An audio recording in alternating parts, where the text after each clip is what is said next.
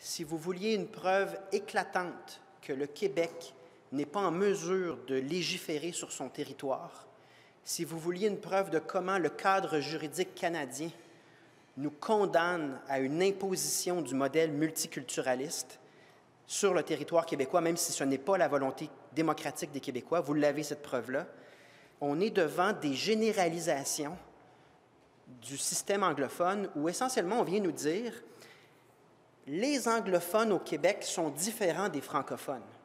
Ils embrassent la diversité et ils ont raison d'accorder une, importance particulière à la célébration de la diversité culturelle et religieuse.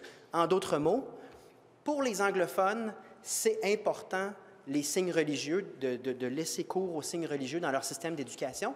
Donc, on va interpréter que ça fait partie de leur droit linguistique que de se soustraire de la volonté démocratique des Québécois, de se soustraire d'une loi de l'Assemblée nationale, au nom de généralisations qui, à mon sens, n'ont aucun fondement.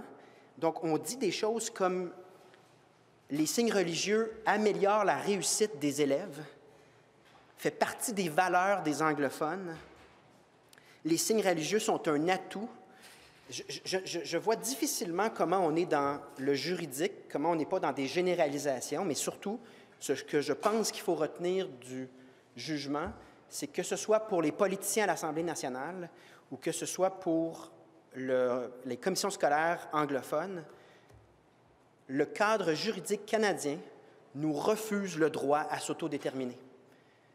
La manière dont le système est fait et la manière dont le, pouvoir judiciaire également exerce son pouvoir nous entraîne dans une situation où nous ne pouvons pas, sur le territoire québécois, faire nos propres choix. Et ça, c'est le début de la fête.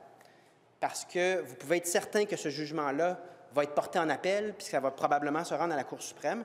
Donc, on commence un long périple de dévalorisation du droit des Québécois de s'autodéterminer et de créativité de toutes sortes de manières qu'on n'a jamais imaginées même pour justifier euh, de casser une volonté pourtant très claire euh, des Québécois.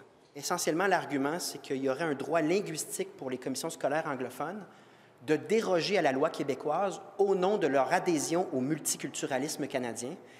On fait là un hommage aux signes religieux. On présente comme de la science puis comme des faits avérés le fait que les signes religieux améliorent la performance scolaire des étudiants, comme quoi les signes religieux font partie de la culture anglophone. Si je n'étais pas membre du barreau, j'irais avec des mots beaucoup plus forts ce matin.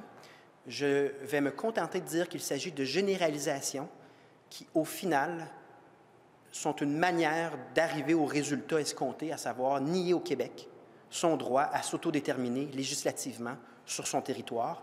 On est en train de séparer les francophones et les anglophones comme des groupes qui euh, ne sont pas gouvernés par les mêmes lois et qui, euh, on est dans la généralisation, là, euh, créer des, profils différents suivant des valeurs et des principes qui, moi, me convainquent absolument pas. Je vous rappelle que le Québec devrait avoir un droit à s'autodéterminer sur son territoire.